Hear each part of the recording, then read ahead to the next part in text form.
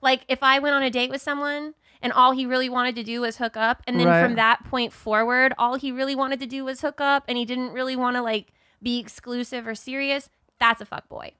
Yeah. What if he was? What if he discussed it? What if he's like, "Hi, I'm a fuck boy.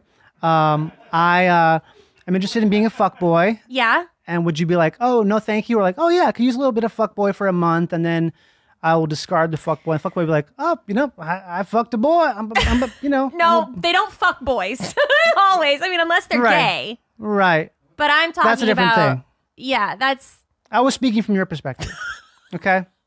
That was a character.